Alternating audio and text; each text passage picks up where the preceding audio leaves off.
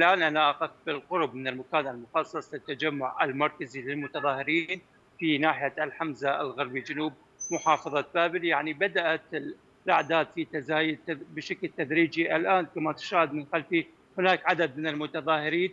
ما زال الدكتور ضرغام ماجد ومن معه لم يأتون إلى مكان التجمع بانتظار وصول يعني بانتظار وصول المتظاهرين من المحافظات الأخرى من بغداد والنجف وكربلاء وباقي المحافظات الأخرى لهذا المكان نعم. المكان المخصص للتجمع على ما يبدو بأن رسائل عديدة يحاول المتظاهرين ايصالها من خلال هذه التظاهرات الحاشدة التي ستنطلق بعد قليل إلى محافظة البصرة هذه يعني التظاهرات للتعبير عن رفضهم الشديد حول قضية ميناء أم قصر أو ناحية أم قصر وكذلك للتأكيد على إن العراق والشعب العراقي لا يسمح ابدا بالمساس بأرضه أو يتم الاستحواذ عليه من قبل دول مجاورة أيضا هم رفضوا ترسيم الحدود من قبل الكويت يعني معتبرين نعم. بانها نعم معتبرين بان هذه ارض عراقية بالكامل وميناء الفصل أو ناحية الفصل ستبقى عراقية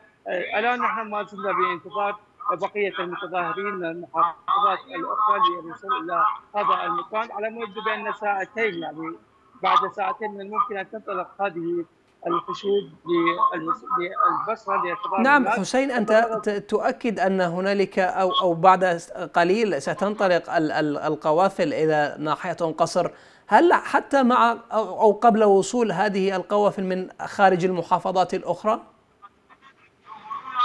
لا لا بالتأكيد يعني بانتظار وصول باقي باقي المتظاهرين. يعني تقريبا بعد ساعة من الآن من الممكن أن يصل جميع المتظاهرين إلى هذا المكان المخصص ومن بعدها يكون الانطلاق. في الانطلاق يكون على الطريق السريع. هناك أيضا وقوف لالتحاق بقية المحافظات المتظاهرين من المحافظات الأخرى كالديوانيه وبيقار وسماوه وواسط ثم الذهاب إلى البصره والتظاهر هناك. يجب أن التظاهر يبدا من الصباح ويستمر. التظاهرة ليست فقط على الأرض بل أيضا على المياه. المياه والتأثير على المواطنين. هذه التظاهرة أيضا ستشمل التعبير عن رفضهم نعم. تجاه ما يحصل للمواطنين من ناديه من يعني المياه من قبل تركيا وأيضا محاولات الاستحواذ على ارض العراق من دول المجاورة طيب هل حصلت اللجان المركزية المنظمة للتظاهرات على الموافقات الأمنية وعلى البروتوكولات أيضا؟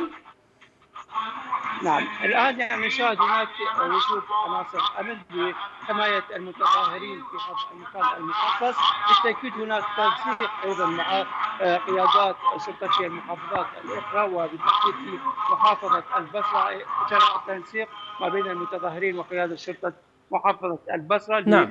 السماح لهم بالدخول والتظاهر هناك والتعبير عن ربهم تجاه ما يجري حول ميناء القصر